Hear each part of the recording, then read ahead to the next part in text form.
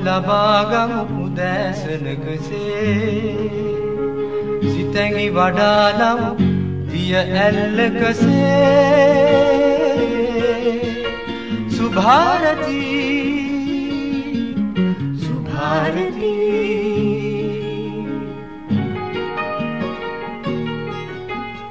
දෙසවන සරසන වදනින සිතුවිලි උපදින හඬකින उभगे निहन सुया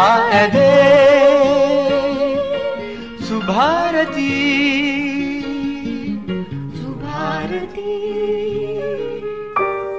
අපගේ දිවයින පුරා විහිදුණු රාජ්‍ය උසුසැල් ජාලය හරහා ඔබගේ යහපත් සුව පැවැත්ම උදෙසා අවශ්‍ය සියලුම ඖෂධ මේ අසීරු කාලයේ පවා ඉතාම සාධාරණ මිලකට ලබාගත හැකිය. අප විසින් වෙළඳපළට නිකුත් කරනු ලබන සියලුම SPC ඖෂධ අපගේ නවීන තත්ත්ව පරීක්ෂාගාර තුළ තෙවරක් තත්ත්ව පරීක්ෂාවට ලක් කරනු ලබයි. සුදුසුකම්ලත් ඖෂධ වේදීන්ගෙන් ඉතාම නිවැරදිව ඔබගේ ඖෂධ වට්ටෝරුවේ සඳහන් ඖෂධ වගකීම් සහගතව පිළියෙල කරවා ගැනීමට සහ උසස් තත්ත්වය ප්‍රත්‍යක්ෂ ඖෂධ සාධාරණ මිලකට ලබා ගැනීමට රාජ්‍ය ඔසුසල් වෙතම යන්න. රාජ්‍ය ඖෂධ නීතිගත සංස්ථාව ඔබේ සුවසිත අපේ පැතුමයි.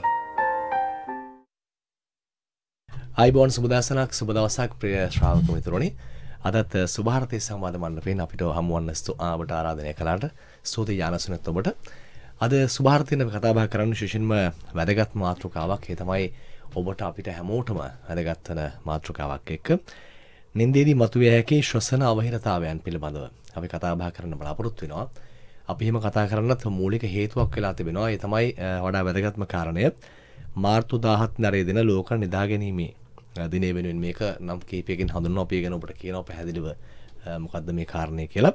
කෙසේ නමුත් ඒ ගැන කතා බහ කරන විතාමත්ම ගෞරවයෙන් ආරාධනය කළා. ශ්වසන රෝග පිළිබඳව ශිෂ්‍යඥ වෛද්‍ය රාගම වෛද්‍ය පීඨයේ ජ්‍යෙෂ්ඨ කථිකාචාර්ය එවගේම රෝග පිළිබඳ ශිෂ්‍යඥ වෛද්‍යරුන්ගේ සංගමේ ලේකම් අපේ වෛද්‍යතුමිය ඩිලේෂා වාදසිංහ මහත්මිය සුබෝදෑසනක් ආයුබෝවන්. සුබෝදෑසනක් සංජය. ඇත්තම දැන් මේ දිනය කොහොමද අපි තේමා කරගන්න බව පැහැදිලි කරලා කියන්නේ කොහොම මේ දිනේ අර ඔබ කිව්වා පූර්ව කතාවේදී යෙදෙන දිනය යෙදෙන ක්‍රමයක් තිබෙනවා. මේ මෙන්න මේ දිනේ තමයි තේමා කරගන්න කොහොමද ඒක පැහැදිලි කරන්න අපිට? ඔව් මේක ස්ප්‍රින්ග් වලට කලින් එන පළවෙනි සිකුරාදා තමයි සාමාන්‍යයෙන් මේක යෙදෙන්නේ. ඉතින් මාර්තු මාසයේ යම් දිනයක දිනය අවුරුදු පතා වෙනස් වෙනවා. නමුත් හැමතිස්සෙම සිකුරාදාවක තමයි යෙදෙන්නේ.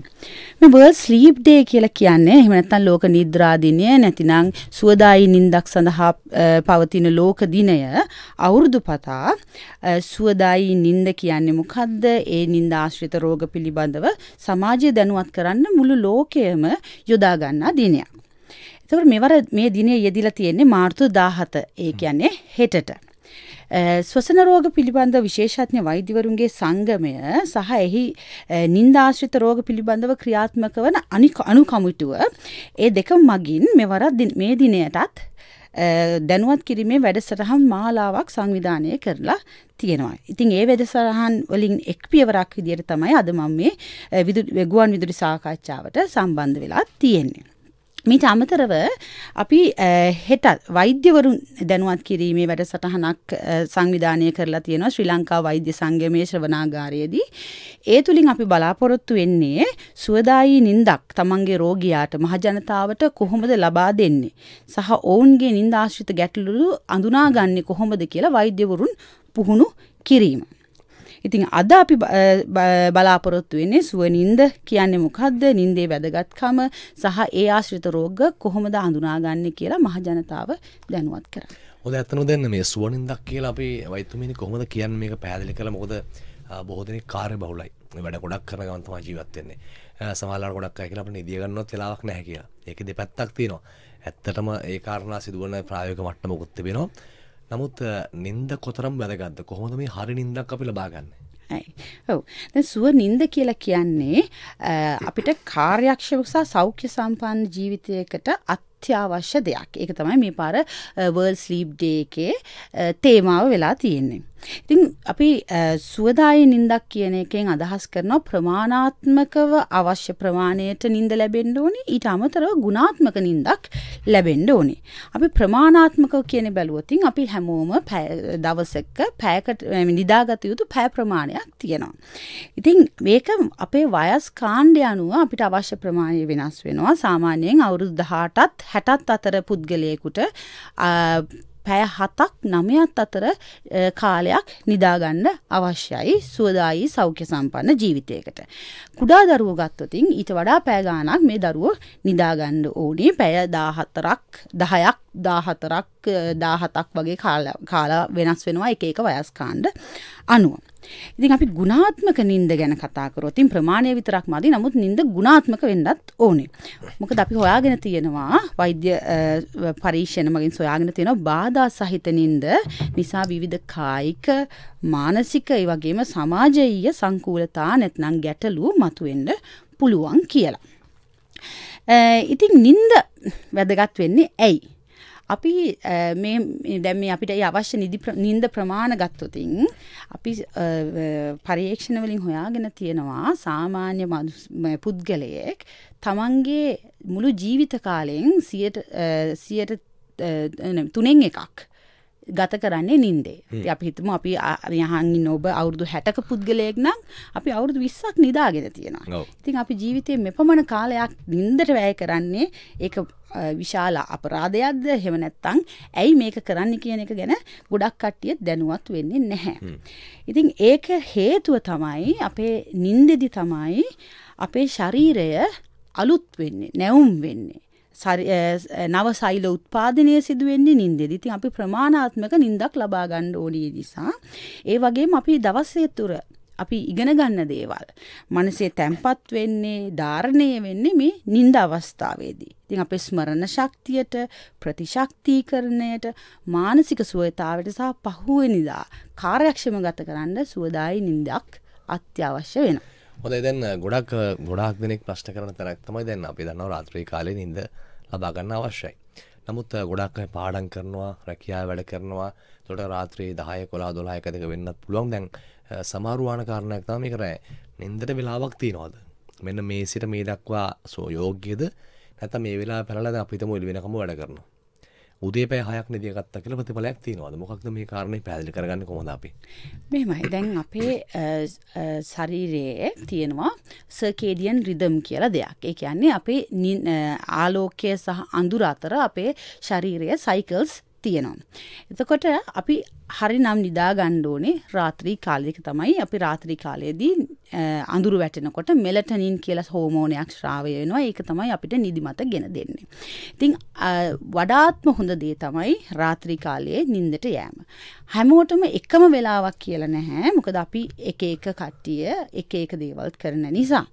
ඉතින් අපි හැබැයි සෞඛ්‍ය සම්පන්න නිින්දකදී අපි හැමදාම නිදාගන්න වෙලාව එකම වෙලාවකට කරන්ඩ පුළුවන් තරම් උත්සාහ කරන්න නිදාගන්න වෙලාව පෑගාන සහ ඇහැරෙන වෙලාව නිති දිනපතා එකම විදියට කරනවා නම් එතකොට අපේ මොලය ඒකට හුරු වෙනවා පුරුදු වෙනවා සහ සුවදායි නින්දක් ලබා ගන්න ඒක උපකාර වෙනවා. ඔව්. ඉතින් පැහැදිලි අතනම දැන් මේ කාරණය ගැන කිව්වොත් මේ නින්ද කොතරම් වැදගත්ද කියන කාරණය. ඔබට සමහරවිට නිදා ගන්නම වෙන්නේ නැහැ. සමහර අයට නිදින්නම වෙලාවක් නැහැ. දැන් ඔබතුමිය කියන කාරණය හරි පැහැදිලි නිශ්චිත කාලවකවානුවක් නිශ්චිත රාමුවක් නින්දරස හැරෙන්න ගත කරන්න ඕනේ. දැන් එහෙම වුණාම සහ නොවුනම තියෙන වාසිතා වාසි. හරි නින්දක් හරියට ගත්තොත් තියෙන වාසිය වගේම නොගත්තොත් වෙන කාරණයක් අපි අපේ ශ්‍රාවකින්ට කියමු. ඔව්. දැන් මම කලින් කිව්වා වගේ අපිට සුවදායි නින්දක් ලැබුණ නැතුණාම අපේ ස්මරණ ශක්තිය අඩු වෙනවා. අපේ කාර්යක්ෂමතාවේ අපිට දැන් දවල්වරු අපි කරන්න ඕන වැඩ අපිට කරගන්න බැරුව යනවා. එතකොට අපේ කාර්යක්ෂමතාවය රටට අපෙන් ලැබෙන්න ඕන දේවල් අපි කරන්න ඕන දේවල් අපිට කරගන්න බැරුව යනවා. එතකොට මේ නිින්ද නැතුව ගියාම අපේ ශරීරයේ රාත්‍රියේදී ඒ ස්‍රාවය වෙන හෝමෝන වර්ග වෙනස්වීම නිසා අපේ හෘදයට හෘද වස්තුවට රුදිර පීඩනයට හෘද ස්පන්දනයට මේකෙන් අයුතු බලපෑමක් තියෙනවා. එතකොට අපි හොඳ නිින්දක් නැති වුණාම අපි දන්නවා අපි හැමෝම අපි හරි නොරිස්සුම් ස්වභාවයක් අපිට කේන්ති යන. එතකොට අපි මානසික මට්ටමටත් මේ නිින්ද බලපානවා. ඒ වගේම කායික රෝග වර්ග තියෙනවා මේ නින්ද ආශ්‍රිත ස්වසන රෝග නැත්තං අප අර හුස්ම හිරවීම කියන රෝගයක්ත් එක්ක සම්බන්ධ වෙච්චි අපි ඒ ගැන තවදුරටත් කතා කරමු. ඔද හතයි විනාඩි දාසයයි වෙලා මේ ස්තුභාරතයේ සංවාධ මණ්ඩපය.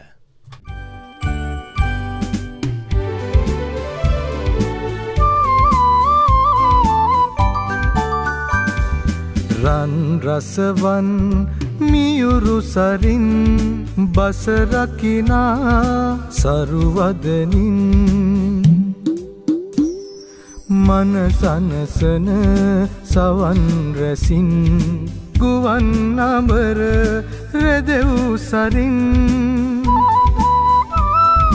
ස්වදේශීය සේවයයි. ස්වදේශීය සේවයයි. ස්වදේශීය සේවයයි. ස්වදේශීය සේවයයි. FM අනුව එකයි දශම හත අනුව එකයි දශම නවය. හොද සුභාර්ථය සංවාද මණ්ඩපයෙන් කතා කරන දවසේ ශ්වසන රෝග පිළිබඳව වගේම නින්දේ තියෙන අවශ්‍යතාවයන් පිළිබඳව අපි කොයිතරම් දැනුවත්ද මේ කාරණය කියන කාරණා පිළිබඳව. වෛතුමට දැන් මේ නින්දත් සුවනින්දත් ඒකත් එක්කම බලපාන ශ්වසන රෝගත් අපි ගැනටයක් අවධානය යොමු කරමු. ඔව්. දැන් නින්ද ආශ්‍රිත ස්වසන රෝග, නින්ද ආශ්‍රිත වෙනත් රෝග වර්ගක් තියෙනවා. නමුත් ශ්වසන රෝග විශේෂඥ වෛද්‍යවරයෙක් හැටියට මම ශ්වසන රෝග පිළිබඳව කතා කරන්නම්. නින්ද ආශ්‍රිත ශ්වසන රෝගවල බහුලතම රෝගය තමයි obstructive sleep apnea. එහෙම නැත්නම් නින්දේදී හුස්ම හිරවීම කියන රෝග රෝගය. එතකොට මෙම රෝගය obstruction කියන obstructive කියලා කියන්නේ යම්කිසි බාධාවක් ඇති වෙනවා හුස්ම ගැනීමට. හුස්ම හිරවීමක් සිද්ධ වෙනවා. වෙනවා. මේක නින්දේදී සිදුවෙන නිසා අපි ස්ලීප් කියලා කියනවා. ඇප්නියා කියලා කියන්නේ හුස්ම නතරවීමක්. එතකොට මෙම රෝගය සොයාගෙන තියෙනවා ලෝකයේ සියට නමයත් තිස් අටත් අතර ප්‍රමාණයකට මෙම රෝගය පවතිනවා කියලා දල වශයෙන් ගත්තොතින් බිලියනයක් පමණ ප්‍රමාණයකට මෙම රෝගය තියෙනවා කියලා සැලකයුතු ශාල් ප්‍රමාණයක් සැලකයුතු විශාල ප්‍රමාණයක්.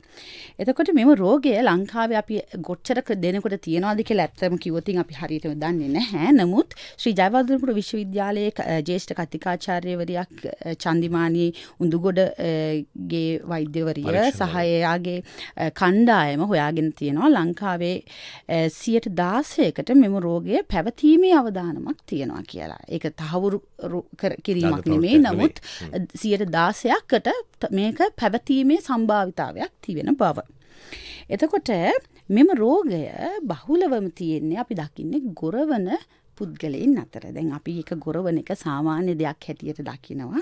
නමුත් ගොරවන හැමෝටම මෙම රෝගයෙන් නැහැ. ඒක වැදගත් අපි කියන්න ඕනේ. ගොරවන හැමෝට මේ රෝගේ නැහැ. නමුත් බහුතරයකට මෙම රෝගය පවතින්න පුළුවන්. සමහර ගොරවද්ද මේ නින්දතිය ඉන්නත් බහිතනවා නේද? ඔව්. ඔව්. දැන් එතකොට මේ රෝගීන් ගොරවනකොට මේක අපි ගොඩක් දකින්නේ පිරිමීන් ලෝකයේ පිරිමීන්ගේ තමයි මේක සුලභව තියෙන්නේ. ඒ වගේම ස්තුල පුද්ගලයින්ගේ නමුත් ස්තුල නැති පුද්ගලයින්දුවත් මේ රෝගය නැතුවා නොවෙයි. සහ මෙම රෝගය අපේ උඩු උග්‍ර ප්‍රදේශයේ තියෙන අපි කියන්නේ එකට විවහේ වෙනස්කම්. විවහෙම කුඩා උග්‍ර ප්‍රදේශයක් තියෙන කට්ටියගේ මේ රෝගය හරි සුලබයි. එතකොට අපි බලමු මේ රෝගයෙන් දැන් මොකක්ද ඇත්තටම වෙන්නේ කියලා. ඒ රෝගෙ වෙන්නේ දැන් අපේ ස්වසන හුස්ම ගන්න නාලය හුස්ම ගන්න නාලය නාසයෙන් පටන් අරන් නාස් කුහරය ශ්වාස නාලය ස්වසන මාර්ගය හරහා පෙනහලට වාතය ගමන් කරනවා. නමුත් මේ උග්‍ර ප්‍රදේශයේ මං කිව්වා වගේ සමහර කට්ටියගේ සැකිල්ලෙන්ම ඒ ව්‍යුහයෙන්ම කුඩා වෙන්න පුළුවන්. නැත්තම් සමහර කට්ටියගේ දිවේ තෙල් තැන්පත් වීම ඒ මුරුදු පටක උගුරාශ්‍රිත තියෙන මුරුදු පටක ගණවීම නිසා එහෙම නැත්නම් විශාල සෙම්ගිරි තිබීම නිසා මේක මෙතන උගුර ප්‍රදේශය සිහින් වෙන්න පුළුවන්. ඉතින් අපි හැමෝම නිදාගත්තම අපේ ඇඟේ මාංශ පේශීන් ලිහිල් වෙනවා. ඒ වගේම ශ්වසන මාර්ගය අරගෙන තියන් ඉන්න මාංශ පේශීත්නුත් ලිහිල් වෙනවා. ඒතකොට මෙම පුද්ගලයින්ට මේ මාංශපේශීන් ලිහිල්ලුනාම ඒ හුස්ම යන්ඩ තියෙන මාර්ගය තව දුරටත් සිහින් වෙනවා ඒ සිහින් වෙච්චි මාර්ගය හරහා හුස්ම ඉහළ පහළ යනකොට තමයි ගෙරවීමේ ශබ්දය අපිට ඇසෙන්නේ.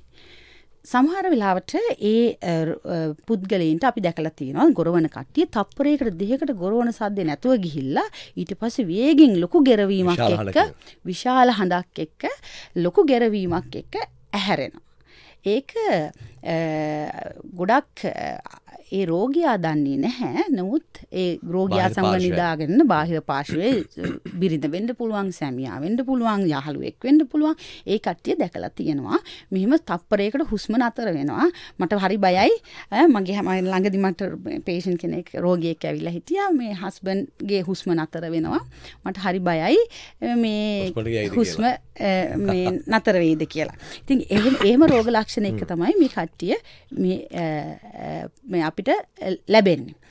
ඊළඟට තවත් කොටසක් ඉන්නවා අපිට අ, වෙන කායික රෝග පාලනය කරගත නොහැකි රුදිර අධිරුදිර පීඩනය දියවැඩියාව හර්ද ස්පන්දනයේ ගැටලු එක අපි ගෙන එරිද්මියාස් කියලා ඒවා එක්ක ගිහිල්ලා එතකොට යං හයිපටෙන්ෂන් එකැන අඩු අයසේ ප්‍රශර එක එන රෝගීන් ඉන්නවා ඒ රෝගීන්ටත් මෙම රෝගය තිබිය හැක.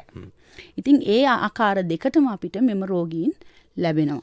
ඔවුදැන් මේ රෝගී තත්වයන්ට පත්වන රෝගීන්ට සහ අපි මේ අ- අහන් ඉන්න අයට මෙහෙම නොවෙන්න මොනවා අපිට කරන්න පුළුවන් දැන් මේ අපිට එකක් මංකවන තරබාරුකමත් එක. තමයි මෙම රෝගය සුලබ. වර්ධනය වෙන්නේ. ඊළඟට තව එකක් තියෙනවා අපේ අයහපත් සෞඛ්‍ය පුරුදු. එතකොට තරබාරුකම අඩු කරන්න අපිට කරන්න පුළුවන් ආහාර පාලනය හොඳ සෞඛ්‍ය සම්පන්න ආහාර වේලක් ලබා ගැනීම එක්සසයිස් ව්‍යායාම කිරීම. අ, අස්- අර- අනිත් මංකීපු සෞඛ්‍ය සම්පන්න නොවන පුරුදු තමයි මත් පැන් පානය සිගරට් දුම් පානය. මේ හේතු නිසාම අපේ ශරීරයේ මාංශපේශීවල තියෙන ලිහිල් භාවය වැඩි වෙන නිසා සහ අ, එතකොට මේ රෝග තත්ත්වය වැඩි වෙන්න පුළුවන්. ඉතින් ওই දෙකෙන්ම වළක්වා අ, අඩු කරගත්තොත් අපිට මේක හැදෙන එක වළක්වා ගන්න පුළුවන්. නමුත් මම අර කලින් කිව්වා වගේ සිහින් පුද්ගලයන් යටත් මෙම රෝගය තියෙන්න පුළුවන්. එතකොට ඒ කට්ටියට අ, මේක ඒ හේතුව වලක්වා ගන්න බැහැ නමුත් ඒකට ප්‍රතිකර්මයක් සිදු කරන්න සිදුවෙනවා. හොඳයි. දැන් මේ වගේ තත්ත්වයක් මුලදිම දැනගත්තොත් දැන් අපි නිදෙන් තව කෙනෙක් ඔයා රැට නිදිද්දී ගෙදර ඇතුළ කට්ට කියන්න පුළුවන්නේ දරුවන්ට තාත්තර කියන්න පුළුවන් පිරිදල ස්වාය පරිශර කියන්න පුළුවන්. ඒ නිසා කිව්වොත් මේ කොහෙන්ද ප්‍රතිකාරයක් ලබා ගන්න පටන් ගන්නේ? වෛද්‍යවරයෙක් හමු වුණාද? මොකද්ද මාර්ගය අපි එතකොට වලට යොමු එන්න පුළන් ඔයාලගේ පවුල් වෛද්‍යවරයා මාර්ගයෙන් හරි ස්වසන රෝග පිළිබඳ විශේෂත්න වෛද්‍යවරයෙක් හමු වෙලා මෙම ප්‍රශ්නය අපිට සාකච්ඡා කරන්න පුළුවන්.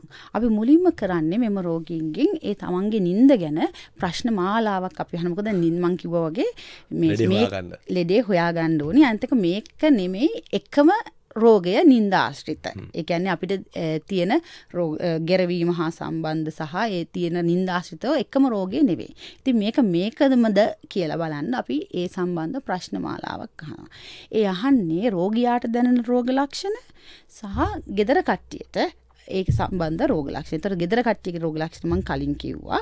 රෝගියාට දැනෙන දේවල් තමයි රෝගියා දන්නේ නැහැ තමන් ගොරවන බවත්, තමන් රැට නින්දේදී හුස්ම නතර කරන බවත් රෝගියා දන්නේ ඒ නැහැ. මොකුත් දන්නේ ඒ මුකුත් දන්නේ රෝගියා දන්නේ මං හොඳට ගොරවලා පැය හයක් නිදාගත්තා කියලා විතරයි. එතකොට රෝගියාට තියෙන තමයි උදේ නැගිටිනකොට නිදිමත බව, ප්‍රබෝධමත් නැති බව, මහන්සි බව දැනෙන්න පුළුවන්. දවල් වරුවට කන්සන්ට්‍රේෂන් අපි අ, දේකට හිත යොමු කරගෙන වැඩ කරගණ්ඩ අපහසු වෙනවා. අ, ඊට පස්සේ නිදිමත වැඩි. සමහර කට්ටි අපි දැකලා තියෙනවා අ, සංජය අපේ මෙහෙම කතා කර කර නිද්දිත් නින්ද යනවා. නින්ද යනවා. සමහර කටිය දේශන පවත්වද්දිත් නින්ද යන ඒක ස්ලීප් ඇප්නියා විතරක් නෙමෙයි. ඒක වෙනම රෝග වර්ගයක් වෙන්නත් පුළුවන් ස්නායු සම්බන්ධ රෝග වෙන්නත් පුළුවන්. නමුත් එහෙම රෝගීන් අපි දැකලා තියෙනවා.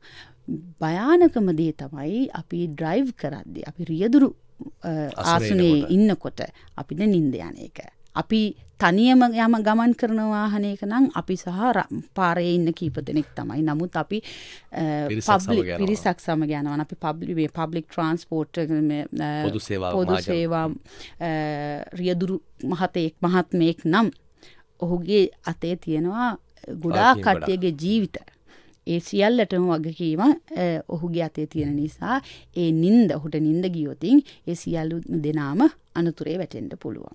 ඉතින් මේ වගේ රෝග ලක්ෂණ තමයි ගුඩාක් අපිට හම්බ වෙන්න.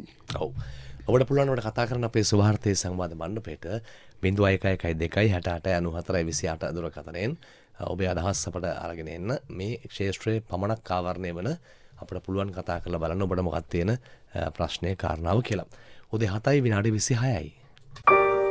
අපගේ දිවයින පුරා විහිදුණු රාජ්‍ය උසුසැල් ජාලය හරහා ඔබගේ යහපත් සුව පැවැත්ම උදෙසා අවශ්‍ය සියලුම ඖෂධ මේ අසීරු කාලයේ පවා ඉතාම සාධාරණ මිලකට ලබාගත හැකිය. අප විසින් වෙළඳපළට නිකුත් කරනු ලබන සියලුම SPC ඖෂධ අපගේ නවීන තත්ත්ව පරීක්ෂාගාර තුළ තෙවරක් තත්ත්ව පරීක්ෂාවට ලක් කරනු ලබයි. සුදුසුකම්ලත් ඖෂධ වේදීන්ගෙන් ඉතාම නිවැරදිව ඔබගේ ඖෂධ වට්ටෝරුවේ සඳහන් ඖෂධ වගකීම් සහගතව පිළියෙල කරවා ගැනීමට සහ උසස් තත්ත්වය ප්‍රත්‍යක්ෂ ඖෂධ සාධාරණ මිලකට ලබා ගැනීමට රාජ්‍ය ඔසුසල් වෙතම යන්න.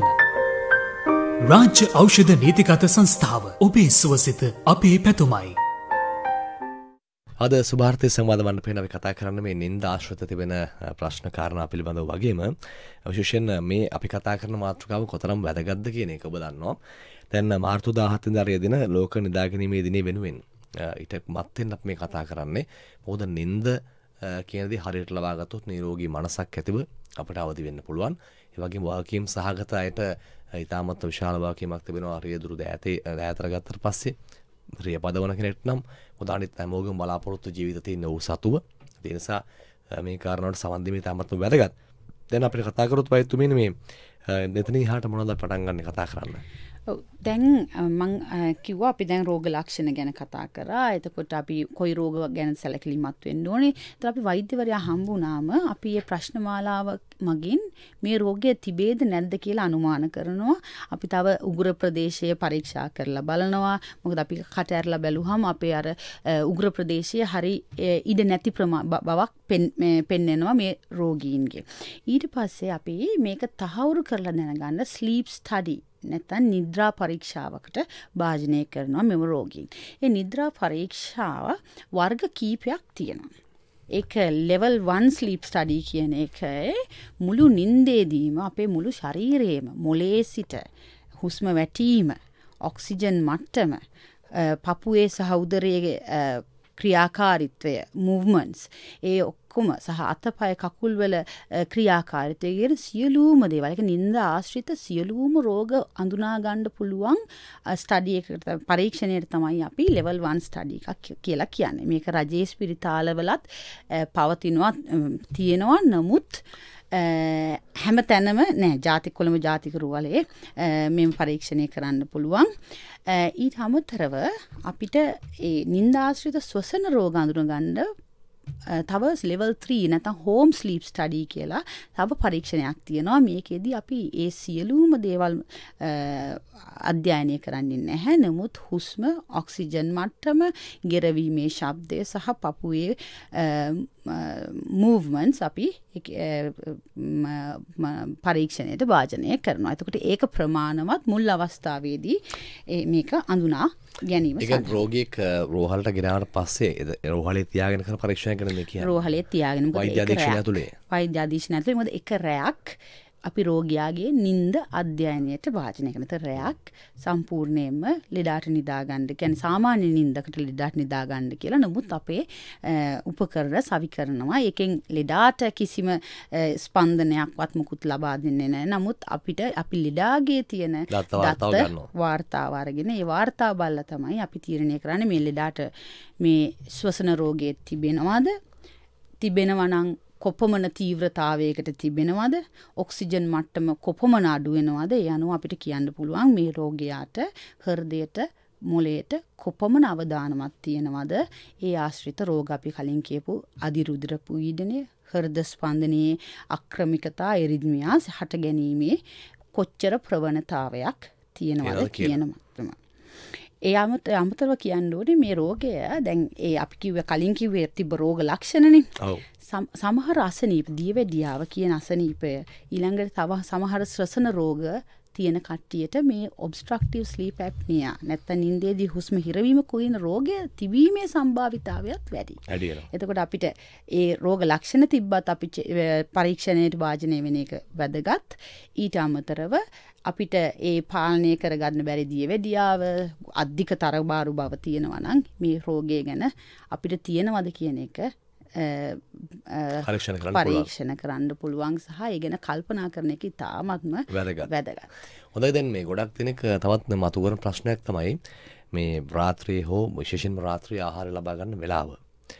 කියන්නේ මේ නින්දට කලින් කොච්චර කලින් ආහාර ගන්න ඕනද? සමහරු කියනවා අපි කෙලින්ම ආහාර ගත්ත නින්දට ගියා ඒතර ජීර්ණය කරන්න අමාරුයි ශරීරයට. මෙන්න මේ කට්ටියක් පැහැදිලි කරොත් මේ උදේ පාන්දර හරි වටනවා. ඔව්. හරිම වැදගත් ප්‍රශ්නයක් සංජයහුව දැන් අපි මෙති තේමාව සුවදායි නින්ද. ඔව්. එතකොට සුවදායි නින්දට අපි කියන ස්ලීප් හයිජීන් කියලා දෙයක් තියෙනවා. ඒ කියන්නේ අපේ හොඳ සෞඛ්‍ය පුරුදු නින්ද සාසිත හොඳ සෞඛ්‍ය පුරුදු. එතකොට ඒකදී අපේ ජීවිතයේ ක්‍රියාකාරකම් කීපයක් හරියට කෙරෙන් සිද්ධ වෙන්න ඕනේ. අපි දහවල් වරුවේදී හරි ක්‍රියාශීලීව වැඩ කරාම අපිට රාත්‍රියේදී හොඳ නින්දක් ලැබෙන බව අපි හැමෝම දන්නවා. අපි ඒ හින්දා ඒක එක ක්‍රමයක්. ඊළඟට අපි දවල්ට නිදාගන්න හොඳ නැහැ. ගොඩක් කට්ටිය දවල්ට නිදාගන්න සමහරයි පුරුදු වෙලා තියෙනවා. නමුත් ඒක එතරම් සුවදායි දෙයක් නෙමෙයි. අපි හැබැයි දවල්ට මොකක් හරි නිදිමත නිසා පොඩි නින්දකට යනවා නම් අපි නැපින් කියලා කියනවා. නැපින් නම් කරනවා නම් ඒක විනාඩි 30කට වැඩිය නැප් කරොතින් eh, නිදා ගත්තොතින් ඒකෙන් අ, පරීක්ෂණ වලින් හොයාගෙන තියෙන විනාඩි 60කට වැඩිය නිදාන ගන්න කට්ටිය විනාඩි 90කට වැඩිය නිදා ගන්න කට්ටියට ප්‍රෙෂර් එක හැදෙන්න chances වැඩි දියවැඩියාව හා හෘද වස්තුව හා සම්බන්ධ සංකූලතාවයම වැඩි. ඒ නිසා උපරිම විනාඩි 30කට තිහයි. සීමා කරන්න. ඊට අමතරව හවස 3 4න් පස්සේ නිදාගන්න එපා. එතකොට එහෙම නිදාගත්තම අපිට රෑට නින්දට යෑමේ බාධාවක් ඇති වෙනවා. ඊළඟට අපි ගොඩක් කට්ටිය පුරුදුලා තියෙනවා රෑට තේ එකක් කෝපි එකක් බොන එක. මේ තේ කෝපි වගේ දේවල් කොකාකෝලා කැෆේන් තියෙන පාන වර්ගවල වලින් අපේ මනස නිදාගන්න දෙන්නේ නැතුව ඇහැරලා තියාගන්නවා. ඒ නිසා අපි සාමාන්‍යයෙන් අනුමත කරන්නේ පැය හතරක් විතරට කලින්. හතරක් හයක්ට කලින්. නින්දට. නින්දට. නින්දට පැ හතරකට හයකට කලින් කොයි තේ කෝපි පානයෙන් වලකින්ඩ ඕනි. විශේෂයෙන්ම නින්ද යන්න ඇති කට්ටිය. සමහරුද බත්තේ කාපු ගම තේකක් බොනෝ. අපි යකතන බත් එක කාපු ගම තේකක් බොනෝනේ. එකන අයහපත් පුරුදු. අයහපත් පුරුදු ඕ. ඊළඟට අපේ කෑම අපි කෑම රෑට බර ආහාරයක් ගන්න හොඳ නැහැ. ඊට අමතරව ඒක ගණ්ඩෝනේ අපි නිදාගන්න වෙලාවට අඩුම ගානේ පැය දෙකටවත් කලින්. කාපු ගමන් නිදාගන්න සුදුසු නෑ.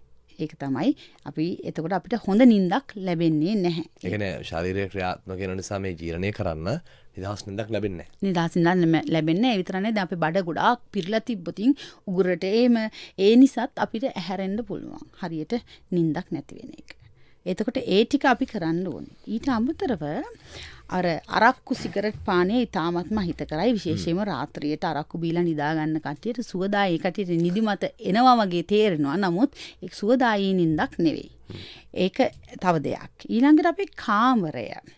කාමරය ශබ්දවලින් තොරවෙන්ඩෝනි ආලෝකය අඩුවෙන්ඩෝනි අපේ ඇඳ අපේ ඇඳ දැන් අපි අපි අපි ජීවිතයෙන් තුනන් එකක් අප නිදාගන්න. ඔව්. ඉතින් අපි iPhone එකට අපේ ලැප්ටොප් එකට වියදන් කරන මුදල නමුත් අපි ඒකෙන් මේ තු ජීවිතය තුනෙන් එක ප්‍රමාණයක් උදින ඇඳට ඉන්නේ. කරන්න ඔව්. හොඳ කතාවක් මංගතෙන් එන්න අයිට කළ ඇමතුමක් කට ගන්න පුළුවන්. සුබදස්සන කොට අයිබුවන් කවුද මේ කොහෙන්ද? සුබෝදයක්නස මම කතා කරන්න නුවරින් බණ්ඩාර කියල එක්කනෙක්. මට වෛත්තුමියකින් අහන්න ඕන නිසා මේ මන්නම් අවුරුදු හයක් විතර ඇස්සේ නැතුව ගෙදරින් එක්කෙනෙක් මට නෑ. හැමදාම නිින්ද යන්නෙම නෑ. පැය එකමාර දෙක වෙනකන්. ඉතින් අර ළමයි දෙන්නගේ ප්‍රශ්නයි බින්දු තමයි රස්සාවක් කරලා අපි ජීවත් වෙන්නේ. මේ හරි අමාරුයි නිින්ද යන්නෙම නෑ මේ ප්‍රශ්න යන්නේ ගෙදර ළමයි දෙන්නට උගන්න යන්නේ කොහමද? ඔර අද කාලා හිට මොනවද කන්නේ එහෙම වගේ ප්‍රශ්න ගොඩාකට මැදිලා ඉන්නේ මං. ඇස් දෙකම පේන්නේ නැහැ ඉතින් ඒ හින්දා නිින්ද යන්නේ නැද්ද? මේ වන්ද වෙලාවකට පිස්සු වගේ. ඔබේ වයස කියද? මට දැන් අවුරුදු 45යි හොඳ අපි බලමු වෛත්තුමික උපදෙස් මොකක්ද කියලා ඔව් දැන් ඒ මහත්මයාට තියෙන්නේ එයාට පවුලේ තවත් ප්‍රශ්නත් නිසා නින්දට යන්නේ නැ නින්ද යන්නේ නැති එක. ඒතර දැන් මම මේ කලින් කතා කරපු යහපත්. සෞඛ්‍ය පුරුදු කියන දේවල්. ඒ දේවල් වලින් Tamanට හරිගස්ස ගන්න පුළුවන් දේවල්. එන හැමදාම නින්ද එකම වෙලාවට නින්දට යෑම. ඊළඟට ඒ නින්දට යනකොට අපේ පරිසරයේ බ- අ, ශබ්ද වලින් තොර වෙන්න ඕනේ. ගෙදර ප්‍රශ්න මොකක්වත් තියෙන්න හොඳ නෑ. සද් ලයිට් නිවන්න ඕනේ. ඒ දේවල් එයාට හරිගස්ස ගන්න පුළුවන්. එතකොට තේ කෝපි පානීය කරනවා නම් ඒවා පෑ 4කට 6කට කලින් නතර කරන්න පුළුවන්. ආහාර වේල පෑ 2කට කලින් ගන්න පුළුවන්. ඊට අමතරව මට තේරෙන හැටියට මේ මහත්මයාට ඒ පවුල් ගැටලු සම්බන් සම්- සමග අ, මානසික පීඩාවක්. ඒතර අපිට මානසික පීඩාවක් තියෙනවා නම් අපිට හරි නිින්දක් යන්නේ නැහැ. ඉතින් මට දෙන්න පුළුවන් උපදෙස් තමයි ළඟම වෛද්‍යවරයෙක් හම්බ වෙලා ඒ ගැන වැඩිදුර දීර්ඝව සාකච්ඡා කරාම ඒ ගැටලු ඒ අපේ මානසිකව අපේ පීඩන ගැටලු විසඳගත්තේ නැත්නම් අපිට සුවදායී නිින්දක් ලබා ගන්න එකත් අපහසුතාවයක් වෙනවා. ඒක තමයි ඉන්සොම්නියා නැත්නම් අනිද්‍රාව කියන රෝගයේ අ, ප්‍රධාන හේතුවක්. ඉතින් ඒ හින්දා මම අ, එම මහත්මයාට අ, යෝජනා කරනවා ළඟම වෛද්‍යවරයෙක් හම්බ වෙලා ඒ සම්බන්ධව අ, කතා බහ කරන්න ඊට අමතරව අර අප- මම කියපු අ, යහපත් සෞඛ්‍ය පුරුදුව ස්ලීප් හයිජීන් එකේ Tamanට හරිගස්ස ගන්න පුළුවන් දේවල් මුලදී හරිගස්සලා බලන්න පුළුවන්. හොඳ අපි දැන් යනවා අර ඔබතුමිය කතා කරන්න හොඳ මාතෘකාවක් iPhone එකක් ගන්න අපට සල්ලි තියෙනවා හැබැයි අපි හැමතැනම නිදාගන්න ඇඳ හරියට හදාගන්න මෙට්ටි හරියට හදාගන්න අපි අවධානයක් යොමු කරන්නේ. ඔව්. දැන් හරි ඇඳ ඇඳ සුවදායි නැතිනම් අපිට සැරින් සැරේ රෑට හැරෙන්න පුළුවන්. උදේ නැගිටිනකොට අපිට අතපය කැ- වල උරහිස්වල කැක්කුම් බෙල්ලේ කැක්කුම් ඇති වෙන්න පුළුවන්. එතකොට අපිට කොහොමත් සුවදායි නිින්දක් ලැබෙන්නෙත් නෑ. උදේට නැගිට්ටමත් ඒ වේදනාව නිසා. වැඩක් කරගන්නත් බෑ. ඒ නිසා අපිට ඒ ඇඳ පිළිබඳවත් සැලකලිමත් වෙන්න ඕනි. ඔව් බිඳුව එකයි එකයි දෙකයි හැටට ඇනු හතර විසි අටෙන් ඔබට පුළුවන් අපට කතා කරන්න.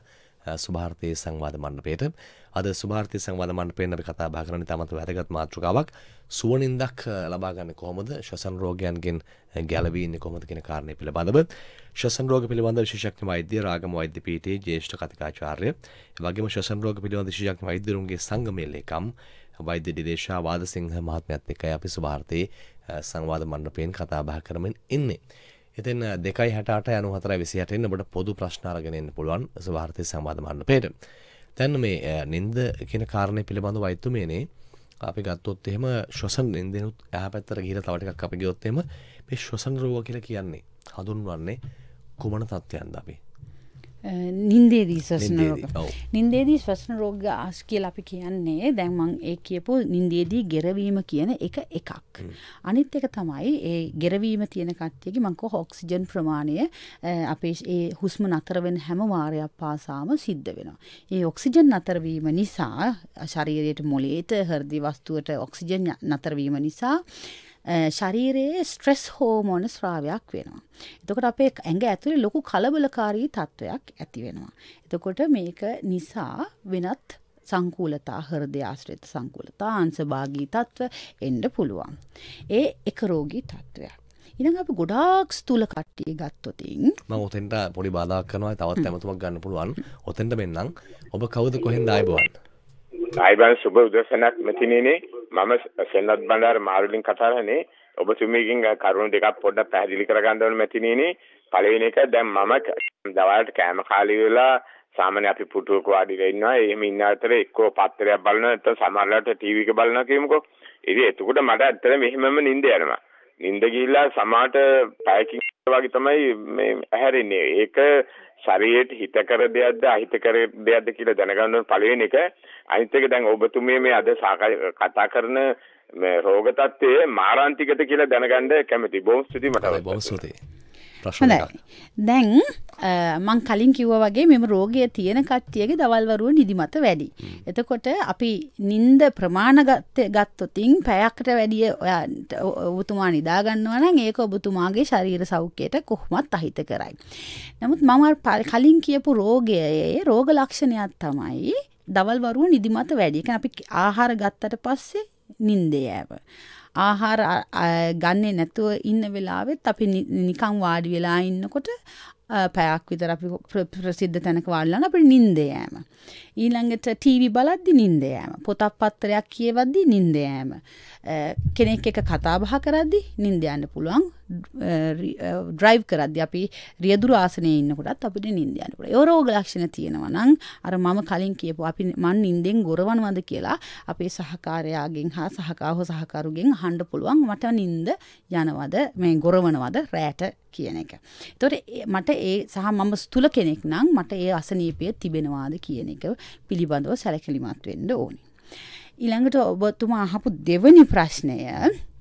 මෙම නින්දේදී හුස්ම හිරවීම කියන රෝගය මහරාන්තිකද කියලා. මාරාන්තිකද කියන එක. මෙමයි හර්ද වස්තු හර්ද හර්ද හාටටෑකයක් බයි මෙහු ප්‍රශ්නය ඒ අපිට හාටටෑකයක් මාරාන්තික වෙන්න පුළුවන් අපිට අධිරුද්‍ර පීඩනය නිසා අපේ මොලේ බ්ලඩ් වෙසල එකක් ලේ රුදිරවාහනයක් පිපිරීම නිසා අන්සභාගී තත්ත්වයක් ඇවිල්ල මාරාන්තික වෙන්න පුළුවන්.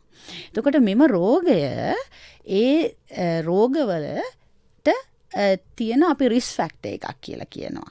එතකොට ඒ හින්දා මේ රෝගය අ, රිජ්ජුවම මාරාන්තික නොවනත් ඒක මාරාන්තික රෝගවලට යොමු වෙන්ඩ පුළුවන් ඒ රෝග. මේ අ, රෝගය හරහා. ඒ නිසා මේ අපි අර නියපොත්තෙන් කඩන්න පුළුවන්ක පොරුවෙන් කඩන්න හොඳ නෑ කියනගේ හොඳ අපිට සම්- සමහර ලෙඩ්ඩු හම්බ වෙනවා. හාටටෑක් පුත් ඇවිල්ල බයිපාසුත් කරලා අ, ඒ ප්‍රෙෂරුත් වැඩි පාලනය වෙන්නෙත් නෑ. නමුත් මහතත් වැඩි. නමුත් මේ රෝගය ගැන දැනුවත් නෑ. පස්සේ අපිට හම්බෙනකොට තමයි අපි ඒ පරීක්ෂණ කරනකොට ඒත්, මෙම රෝගීන්ට මේ රෝගය තියෙනවයි කියලා අපි හොයාගන්න කතර වෙන්ඩති ඔක්කොම වෙලා ඉවර ඔක්කොම ටික වෙලා ඉවරයි. ඒ නිසා ඒක කලින් අපිට හඳුනගත්තොතින් එක්සසයිස් ව්‍යායාම කරන එක බරාඩු කරගන්න එක ඒ අවශ්‍ය ඔක්ස රෑට ඔක්සිජන් අතරවීම කියන ඒ දේට කරන්න පුළුවන් ප්‍රතිකරම අපිට කරන්න පුළුවන්. ඒ නිසා ඒක හරි වැදගත්. ඊළඟට තව එකක් තියෙනවා මේ රෑට හොස්ම ඔක්සිජන් අඩුවනක මංකව හර්ද ස්පන්දනය ගැටලු තියෙනවා. තර මේක ගොඩක් වෙලා වින තපර දහයක්වත් වෙන්න ඕන අපිට මේ අසනීප තත්වයක් කියලා කියන්න. එතකොට ඒ ගොඩක් වෙලා ඒක හුස්ම හිර උනොතින් හර්ද ස්පන්දනය අක්‍රමිකතා ඇවිල්ලා එක පාට අප එරිත්මිය එකක් කාම එක පාර නැතිවෙන්න පුළුවන්. එතකොට ඒ වගේ රෝග තත්ත්වයක් වෙන්නත් පුළුවන්. ඔව් තැන් සමාන තැන්වලතින් ප්‍රශ්නයක් තමයි දැන් මේ අර අපි කෙන බෝඩින් නැතම් නවාතැන් එතෝට ඒ වගේ තැනක නිදියගන්න සහ පදිංචුලා ඉන්න කෙනෙක්ට වාතාශ්වාරයට එන්නෙත් නැත්නම් හත්තර දෙනෙක් එක කර නිදාගැනීමක් සිදු වෙනවම එකම කාමරය තුළ යාබද ඇදන්වල තැන් ඔවුන් ඉහල පහල් දම ස්මෝත් ප්‍රමාණ ආශ්වාස ප්‍රශ්වාස කරමේ තත්ත්වය. තැන් මෙන්න මේ විදි තැන්වල ඉන්න අයට අනිවාර්ය ප්‍රශ්නයක් ඇති වෙන්න වෙනවනේ. උලන්ටියක් හරියට එන්න විදියක් නෑ. ඉන්න පිරිස වැඩි පොඩි කෑල්ලක. තැන් ඒ වගේ තැනක ඉන්න කෙනෙක්ට තියෙන ප්‍රශ්නයක්. කොහොඳ මේ අපි පහදල දෙන්නේ? අයට වඩාත් සුවනින්දකට යන්න පුළුවන් ක්‍රමයක්. ඔව් දැන් ඒ කට්ටිය දැන් අපි සාමාන්‍යයෙන් දන්නවා කාමරයක වාතාශ්‍රය සහ කාමරයේ උෂ්ණත්වය. ඒතර අපේ කාමරය ගොඩක් රස්නේ නම් ගොඩක් ගැන හුස්ම ගන්න වාතයේ ක්වලිටි එක හරි මදි නම් මේකෙන් ගැටලුවක් තියෙනවා. ඒ හින්දා එතකොට ඒක වාතාශ්‍රය එන්න ජනෙල් අරින්න ඕනි ඒ මේ කාමරයේ උෂ්ණත්වය තියෙන්න ඕනි ඇඟට සුවදායි මට්ටමක වැඩිපුර සීතල වෙන්න හොඳත් නෑ වැඩිපුර රස්න වෙන්න හොඳත් නෑ. සහ එතකොට ඒ වගේ බෝඩින් වල ඉන්න කට්ටිය ඉතින් ඇඳන් ඒවා ඔක්කොම පිරිසුදුවට ඒවා සියලුම දේවල් තියාගන්න අපිට ලොකු වියදමක් යන්නේ නෑ නේ ටික කරන්න. ඒ හින්දා ඒ වගේ හොඳ පුරුදු. ඒ කියන්නේ තමන්ගේ කාමරය අ, බඩු බාහිරාදී අඩු කරන්න ඕනේ. ලැප්ටොප් iPhone අපේ ඔළුව ගාව ඇඳ ගාව තියාගන්න හොඳ නෑ. ඒ වගේ දේවල් කරන්න පුළුවන්. හොඳයි. මේ අමතුම කාගෙන්ද? කොහෙන් දායිබුවන් ආයිබෝන් මම මේ වැලිමඩ හිමිලියෝල්ලේ වසන්ත. ඔව්. මහත්මයකින් මට දැනගන්න ඕනේ මට වයස අවුරුදු 51යි දැන් අවුරුදු කීපයක ඉඳන්ම ඔය නින්දෙදි ගෙරවීම මට තියෙනවා. ඒ වගේම නින්ද යාගෙන එනකොට මගේ දකුණු අත එකපාරම ගැස්සිලා කඩා වැටෙනවා. ඒක මට තේරෙනවා. අනිත් එක නින්ද යාගෙන එනකොට මට සමහර විට කාත් එක්ක හරි කතා කර කර නින්දකුත් ගිහිල්ලා හීනෙකුත් බලලා අර කතාවටත් උත්තරේ දීලා නේ- හීනෙ කියන්නත් පුළුවන්. එහෙම අවස්ථාවක් වෙනවා මේක ඇයි දන්නේ? මේ වළක්ක ගන්න පුළුවන්ද? මොම සුදේ. ඔව්. මෙමයි ඒ මහත්මයා කියපු හැටියට මහත්මයට ඔව් ඒ මහත්මයාට ගෙරවීම තියෙනවා නින්දත් යනවා. ඒ හැබැයි ඒක එයාට ඒ ගැඹුරු නින්දට යන්නෑ කියන එක තමයි මට මහත්මයක් කියපගෙන් පැහැදිලි වුණේ. දැන් අපි නින්ද කියලා කියන්නේ එක පාට නිදාගන්න එක තනි දෙයක් නෙමෙයි. මේක ඉස්සලාම නොගැඹුරු නින්දට යනවා ඊට පස්සේ ගැඹුරු නින්දට යනවා. ඊට පස්සේ අපි සිහින දකින්න නින්දටත් යනවා. එතකොට අපි ඒ සිහින දකින නින්දේදී ඇහැරුණොතින් තමයි අපිට ඒ සිහිනයක් කියන්න පුළුවන් වෙන්නේ. අපි නොගැඹුරු නින්දේ නිදාගත්තහම ඉන්නකොට තමයි අපිට අ, ඒ බාහිරෙන් එන දේවල් වලට අපිට අ, ඇහෙන්නේ තියෙන්නේ. එතකොට දැන් මේ අම්, ම- මහත්මයට අපි දැන් මංකිව මේ රො- ගොරවන එකත් අහස්්‍රේත තියෙන රෝගය ඒකෙදී අපි ගැඹුරු නින්දට යන එක බාධා කරන. තොට අපි ගැඹුරු නින්දේදී ඒ හුස්ම නතර වුණාම අපිව ගේනවා නොගැඹුරු නින්දට. තකොට ව- ගොඩාක්ම වැදගත් වෙනවා ඒ මහත්මයට ඒ ගොරවන එක සම්බන්ධව ළඟම ශ්වසන රෝග සායනයට යොමු වෙලා ස්ලීප් ස්ටඩිය එකක් නැත්තන් නිද්‍රා පරීක්ෂාවක් කර ගන්න පුළුවන් නම්. සහ ඒ සම්බන්ධව තවදුරටත් අපි අර මංකිවන අප ප්‍රශ්න මාලාවක් අහනවා කිය ඒ ප්‍රශ්න මාලාව ඒ මහත්මයකින් අහලා අපිට දැනගන්න තහවුරු කරගන්න ඕනේ කොයි පැත්තරද ඒ මහත්මයකි ගැටලුව තියෙන්නේ කියලා. ඔව්. හොද හතයි විනාඩි හතලෙස් සහය වෙලා මේ සුභාර්තයේ සංවාද මණ්ඩපය අපි කතා කරන්න සුවනින්දක් පිළිබඳව වගේම ශ්වසන රෝගයෙන් වැලකුණු නිදහස් මනසක් ඇති අ, සොඳුරු ජීවිතයක් පිළිබඳව. නිවා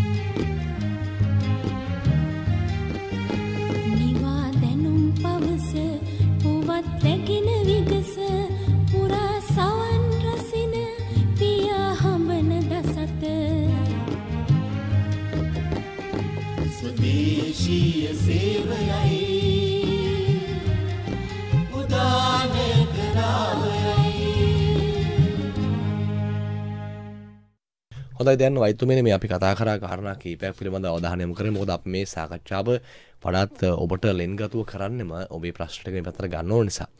දැන් අ, මේ අ, සාකච්ඡාවේ අවසන් අධ්‍යය කියන්නේ ප්‍රතිකර්ම කරන්න කොහොමද? මොනවද පිළියම්? අපි මොනවද ගන්න ඕන පියවර? මෙන්න මේ ගැන අපි දැන් කතා කරමු වෛතුමනේ.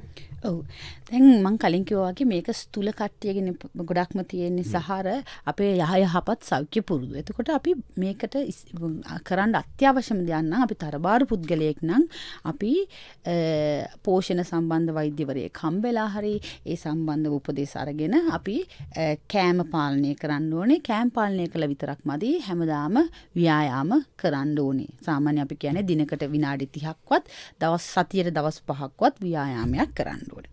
ඊට අමතරව මේකට ප්‍රතිකර්ම මේ ස- රෝගේ හඳුනාගත්තට පස්සේ මේකට ප්‍රතිකර්ම කීපයක් තියෙනවා. දැන් අපේ ප්‍රශ්නේ තියෙන්නේ උග්‍රේ ශ්වසන මාර්ගය අවහිර වීම. එතකොට මේක අරගෙන තියාගන්න අපි CPAP යන්ත්‍රයක් පොඩි පෙට්ටියක් වගේ උපකරණයක් තියෙනවා. හෝස් එකක් මාර්ගයෙන් ෆේස් මාස්ක් එකක් මුහුණට අපි අ, දාන නහය කට ආවරණය වරන අ, මුඛ ආවරණයක් තියෙනවා. ටිකක් හදට දම- දාන ඒ මාර්ගය ඒ යන්ත්‍රය මාර්ගයෙන් අපේ මේ සාමාන්‍ය වාතය පොඩි ප්‍රශයහකින් ලබා දෙනවා එතකොට ඒ ප්‍රශර එක නිසා උගුර ප්‍රම- ප්‍ර- ප්‍රදේශය වැහෙන එක වලක්වා ගන්න. තොට මේ යන්ත්‍රයක් අපිට භාවිතා කරන්න පුළුවන්. වෛද්‍ය නිර්දේශය මත. වෛද්‍ය නිර්දේශ මත අනිවාර්යයෙන්ම. මොකද මේ අසනීපේ තියෙන බව තහවුරු වෙන්නත් ඕනේ. කොහොමත් මේක මේ රජයෙන් ලබා දෙන්නේ නැහැ. මේ උපකරණ. තොට තමන් පෞද්ගලිකව යන්න ඕනේ. පෞද්ගලිකව වියද වීදම් කරලා ලබා ගන්න ඕනේ. ඒ වියදම් කරලා ලබා ගන්න උපකරණය වෛද්‍ය නිර්දේශයක් නොමැතිව ලබා දෙන්නේ නැත. සහ ඒක මේක ඉතා මිල අධික උපකරණයක්. එහි නිසා ඒක වෛද්‍ය උපදෙස් අනුවම තමයි ලබා ගන්න ඕනේ ඊට අමතරව තව රො- අ, දැන් මං කලින් කිව්වනේ අපේ උග්‍රේ ව්‍යූහේ ගැටලු තියෙන කට්ටිය. අපේ යටි හනුව කුඩා වෙන්න පුළුවන්. ඉතින් යටි හනුව කුඩා වුණාම අපේ උග්‍ර ප්‍රදේශය සිහින් වෙන්න පුළුවන්. ඒතර මේ වගේ රෝගීන්ට විවිධ ශල්‍ය කර්ම උග්‍ර කර්ණාසය සම්බන්ධ රෝගීන් තමයි මේ වෛද්‍යවරුන් තමයි මේක ශල්‍ය කර්මයක් කරන්නේ. එතකොට ඒ ශල්‍ය කර්ම වර්ග තියෙනවා. ඒක කරන්න පුළුවන්. එතකොට අපි සාමාන්‍යයෙන් පුරුද්දක් හැටියට ඒ කියන්නේ හොඳ පුරුද්දක් හැටියට අපි මේ රෝගීන් හැම හැම රෝගියෙක්ම උග්‍ර කන්නාසය සම්බන්ධ වෛද්‍යවරයෙකුට යොමු කරනවා උග්‍ර ප්‍රදේශයේ පරීක්ෂා කරලා බලලා අපිට ඒ කට්ටියගේ වාර්තාවක් ලබා දෙන්න කියලා මේ උපකරණයක් නියම. කරන්න කලින්. ඊළඟට තව එකක් තියෙනවා. ඒ මැන්ඩිබියුල ඇඩ්වාන්ස්මන්ට් ඩිවයිසස් කියලා දේවල් තියෙනවා. මේව ලංකාවේ නැහැ. නමුත් මේකෙන් කරන්නේ යටි හනුව ඉදිරියට ඇදලා තියාගන්න උපකරණ තියෙනවා. සහයක් දෙනවා. සහද මේක නමුත් උග්‍ර රෝග තත්ත්වය තියෙන කට්ටියට මේක පාවිච්චි කරන්න බැහැ නමුත් ම්, සුළු සහ මධ්‍ය ම්, රෝගීන්ට මේක පාවිච්චි කරන්න පුළුවන්. මේක පිටරටවලින් මිලදීලා මෙහෙදි පාවිච්චි කරන්නම් බැරිකමක් නෑ. තව අ, ත- කටස- කොටසක් මට කියන්න බැරුවගිය කොටස තමයි තාමත්ම ස්තුල කට්ටියට අපි බැරිියට්‍රික් සර්ජරි කියල දෙයක් තියෙනවානේ අපේ බර අඩු කරගණ්ඩ තියෙන ශල්්‍ය කර්ම. ඒ ශල්්‍ය කර්ම මගිනුත් මෙම රෝගයේ තියෙන තීව්‍රතාවය අඩු කරගණ්ඩ පුළුවන්. මද සහ සුළු ගැටලු තියෙන කට්ටියට ඒක සියට සියක් රිවර්ස් වෙන්නත් පුළුවන්. ඒ ශල්්‍ය කර්ම තුළින් නමුත් ඒ ශල්්‍ය කර්ම කරාට විතරක් මදි තමන්ගේ ආහාර පාලනය ගැන හරිම සැලකලිමත් වෙන්ඩ ඕන. ඔවු දැන් ගොඩක් අයින්න ඕනේ ඩොක්ට මේ හැපි බැලුවොත්තේම කනෝබනෝ ජීවත්වන වැඩ කරන හැබැයි කිසිම විටක ව්‍යයාමයක් කරන්න යන පටක් පේන්න නෑ. තැන් ඒ වගේ අයට මොකද අපට දෙන්න පුළන් පණවිට ඒ තමයි අපි මමර කලින් කිව්වම වගේ යහපත් සෞඛ්‍ය ජීවිතයකට ව්‍යායාමය කියන එක අත්‍යවශ්‍යයි. තමන් මොනවා කරත් තමන්ගේ ස- ය- සාමාන්‍ය දින්දා ජීවිතය තමන් අපිතුම ඔපරේෂන් එකට යනවා කියල ඒ ඔපරේෂන් එකට යන්නත් ෆිට් පේෂන් කෙන නිරෝගී පේෂන් කෙනෙකුට ඒකෙන් ශ්‍රිකව වෙන එක යථතත්වයට පත්වීමේ හැකියාව වැඩි. එහින්ද අනිවාරයම ව්‍යායාම ආහාර පාලනය බර අඩු කර ගැනීම ඒ පිළිබඳව අපි හැමෝම සැලකිරීමත් වෙන්ඩෝනි කාර්ය බහුල වෙන්ඩ පුළුවන්. නමුත් අපි උපයන මුදල අපේ සෞඛ්‍ය වෙනුවෙන්ම වැය කරන්න ඕනි නැහැ. අපේ අ, අපි වෙනුවෙනුත් අපේ ගෙදර කට්ටි විතරක් නෙමේ අපි වෙනුවනුත් දවසකට විනාඩි තිහක් ගත කරන්න අපිට පුළුවන් වෙන්ඩ ඕනි. හොඳ අවසන් වශයෙන් අපි ගත්තොත් අ, නින්දේ තිබෙන අඩුපාඩු පිළිබඳව අ, ශ්වසන රෝග පිළිබඳව ඔබට යම් අ, කාරණාවක් අ, පැහැදිලි කරගන්න ඇත්නම් ඔබතුමේ නිර්දේශ කරන හොඳම විකල්පය වෛද්‍යවරයෙක් හමුවන්න කියන කාරණය. වෛද්‍යවරයෙක් හමුවන්න ත- තමයි අපි රෙකමෙන් කරන විශේෂයම ස්වසන රෝග වෛද්‍යවරයෙක් හම්බෙන්න්න පුළුවන් නමුත් තමන්ට එහෙම හැකියාවක් නැත්තන් තමගේ පවුල් වෛද පවුලේ වෛද්‍යවරයා හමු වෙලා ඔහු හෝ ඇය මාර්ගෙන් යොමුෙන්ඩ පුළුවන් ඒ අදාළ ප්‍රදේශයේ පවතින ඉස්- නින්ද හා සම්බන්ධ සායනක අපි දැන් සම කොළ භාශ්‍රිතව ගම් පාශ්‍රිතව නින්ද පිළිබඳ සායන වෙනම පවතිනවා. අ, රාගම වෛද්‍ය පීටයත් නින්ද පිළිබඳව සායනයක් පව- පව- පවතිනවා. ජ- ශ්‍රී ලංකා ජාවර්ධනපුර විශ්වවිද්‍යාලයත් පවතිනවා. කොළඹ මහරෝහලය බොරැල්ල ලයචිකිත්තා සාගාරයේ ඒ හැම තැනම මේ වගේ සායන පවත්තිනවා.